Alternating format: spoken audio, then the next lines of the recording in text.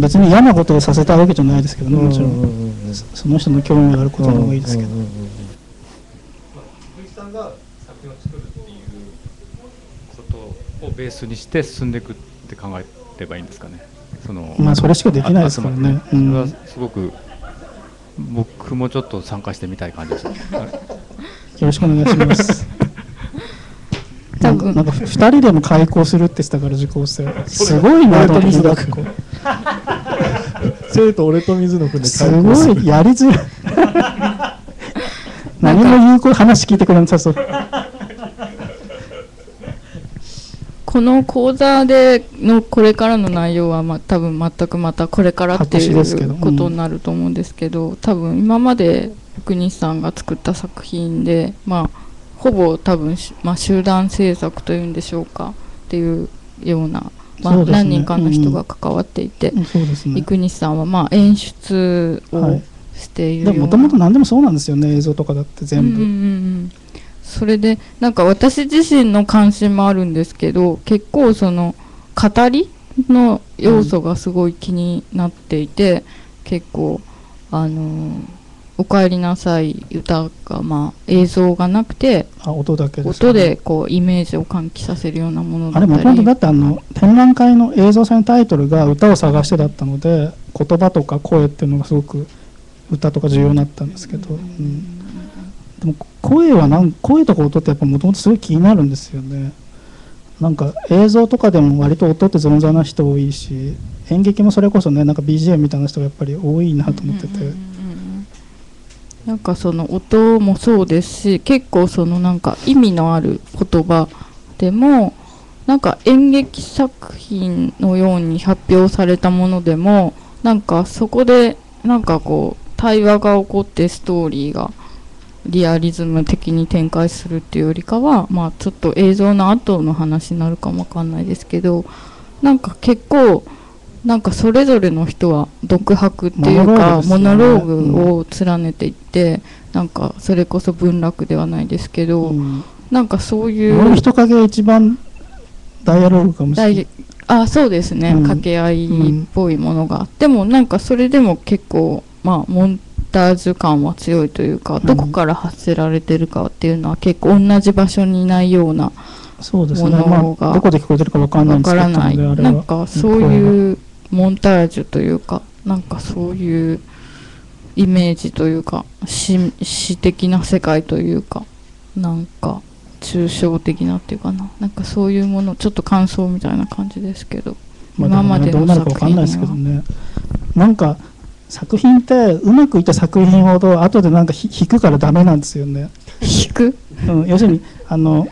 自分の中でうまくいったとか、まあ、人に言われたりとかもあって例えば「お金さん歌」とか佐々木さんとか生西君の代表作とかって言ってくれて、うん、まあ、それは嬉しいんですけど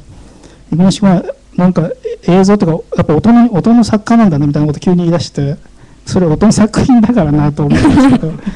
でもなんかその うまくいった時っていうのは、はいはい、そのイメージが自分の中に残るからなんかなぞっちゃうんですよね、はいはい、なんかねどっか。だから似て非なる問題がそこでもむしろなんかそのえっとそのウェンウェアのワークショップとかでもすごく面白くいったと思うんですけどあの時って、はいはい、なんかその時の体験って残っちゃうじゃないですか。だからそれ引きずらないようにやろうと思ってて、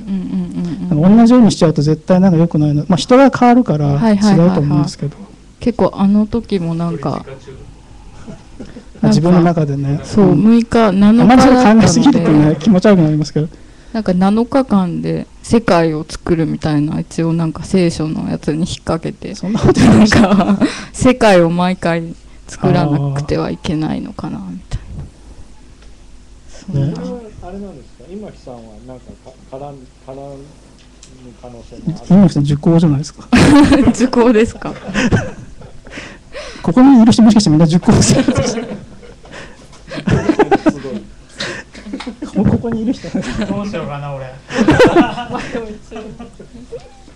なんかネズミ子みたいですね。じゃあ見ましたわかりました。それまたちょっと終わって少し少しなんか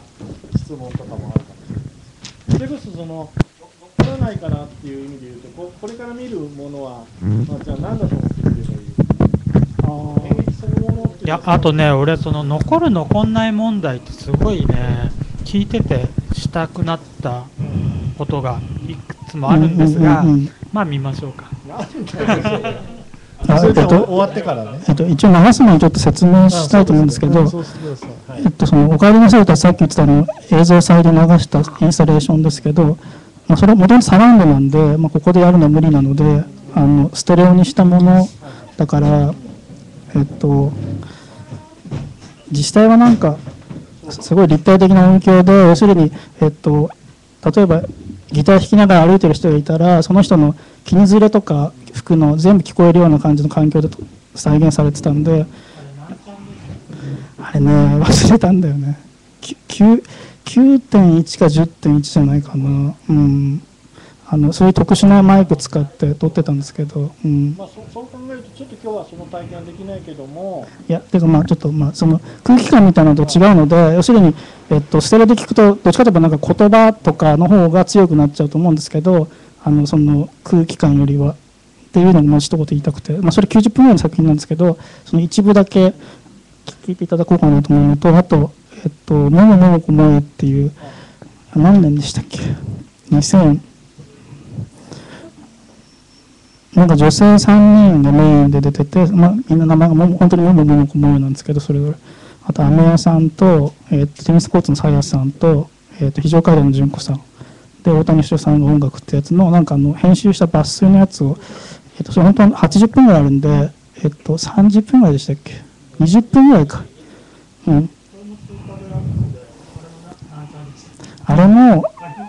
あれ、あれは、えっと、セリフとかもちろん生で喋ってるのと、あと、えっと、あらかじめセリフ録音したやつも、えっと、マルチチャンネルで上から流してて、でやってるんですけどね。で、でも、え、えっと、映像だと、えっと、それももちろんそういう聞こえ方しないので、しかもなんか、間違ってなぜかモノラルで録音されてて、大谷さんがすごく悲しそうだったんですけど、なんかまあ全然印象違うと思いますけど、あと、えっと、あんまり撮影の状態も良くないので、正直言うと。まあでも、それがあえていいかなと。はい。はい。じゃあ5分ぐらい。はい。